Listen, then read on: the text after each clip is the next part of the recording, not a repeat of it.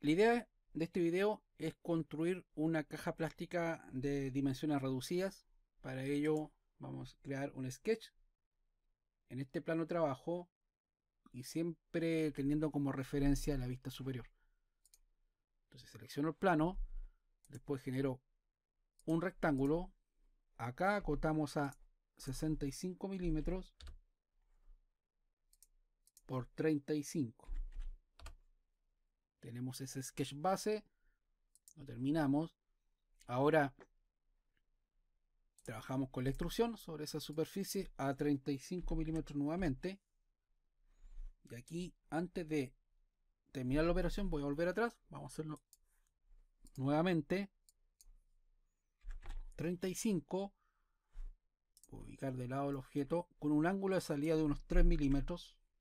Esto este ángulo sirve para que se genere un desmolde óptimo en el proceso de inyección de estas piezas entonces por eso se, se, se saca esta conicidad para que cuando trabaje con temperatura y salen muchas piezas por minuto esto favorece la rapidez y la optimización de la pieza y no ocurren errores en la producción de piezas plásticas.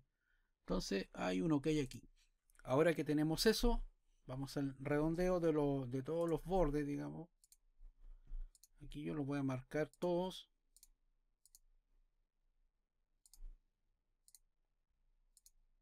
Entonces, ahí ya que están marcados, unos 3 milímetros estaría bien. Rectificamos. Ok.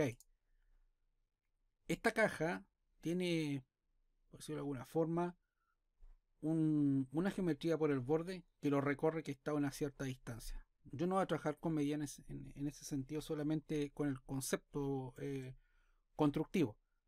Entonces, voy a encender el origen. Ahí se ven tres planos. Vamos a abrir el origen. Vamos a crear un plano. ¿No es cierto? Vamos a ocupar, podría ser ese o ese. Esa de arriba podría ser. El XY. Marcamos un slice. Simplemente voy a trazar un... Nos vamos a ocupar esta herramienta rectángulo. Ahí. Terminamos el sketch. Entonces esta figura vamos a ocupar la herramienta de barrer. Selecciono el profile. Después selecciono el camino. Acá es una unión. Fijan. Ok. Ahora, si yo presiono eh, un vaciado, es un vaciado de pared muy delgada, ¿se fijan?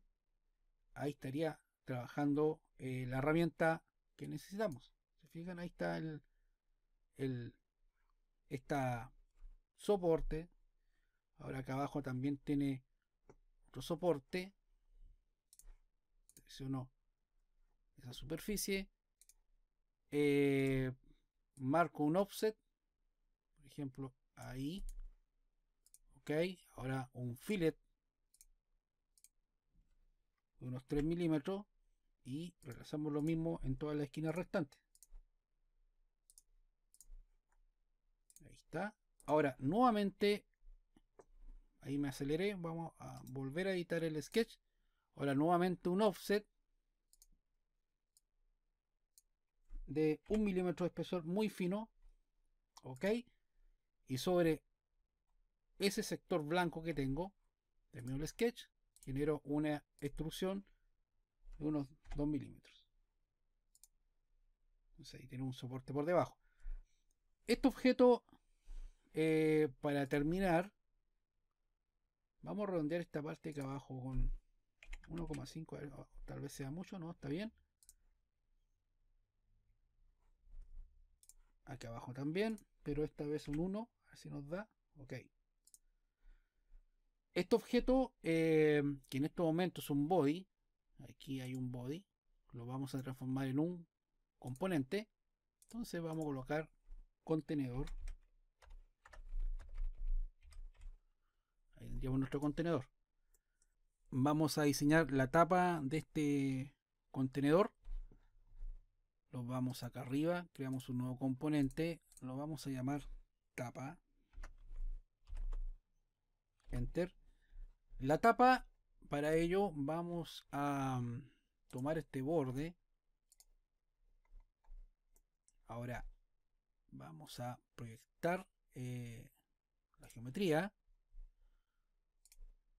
Todo el borde que está aquí por el exterior. Ok. Teniendo ese borde vamos a extruir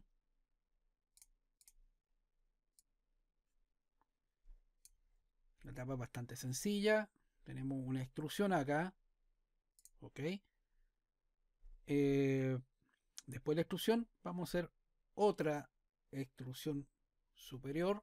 Entonces acá un offset.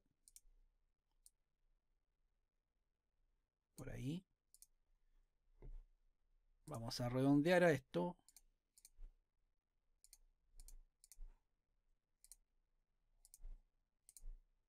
ok vamos a extruir algo así. Vamos a ahora a redondear.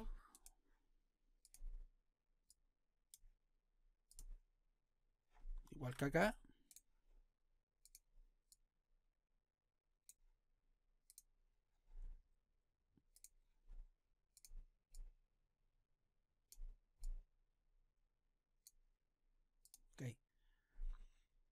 tenemos esta tapa. Ahora este componente que es el otro lo vamos a apagar. Vamos a ver solamente la tapa por debajo y vamos a crear un vaciado de un milímetro. Tenemos el vaciado. Encendemos el contenedor principal. Tendríamos esto o sea el borde eh, si yo hago una sección de análisis por ejemplo acá esto es lo que andamos buscando, pero eh, esto no va a funcionar ya que tiene que tener una otra sección aquí para que entre presión. Entonces, de nuevo tenemos que trabajar acá. Vamos a crear un sketch. Me voy a tomar, obviamente, de un plano. Por ejemplo, ese, un slice. Y acá tendría que ser esto voy a trabajarlo. Simplemente una cosa así. Está inclinado esto. Entonces ahí se puede ver que hay un hay una pequeña inclinación.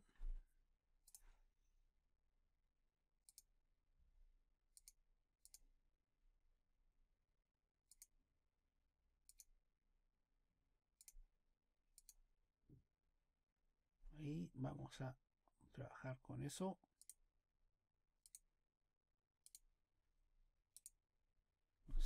vamos a hacer un sweep de nuevo.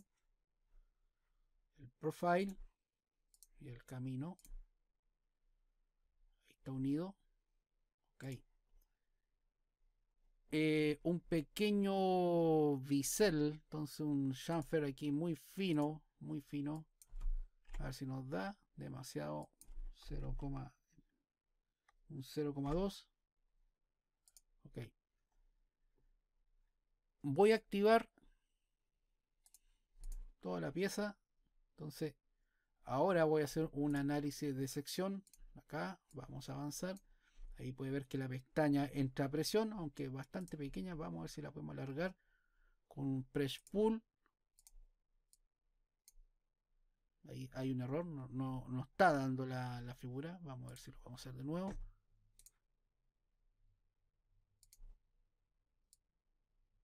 No, ahí genera el error. Entonces no. Vamos a dejarlo así nomás.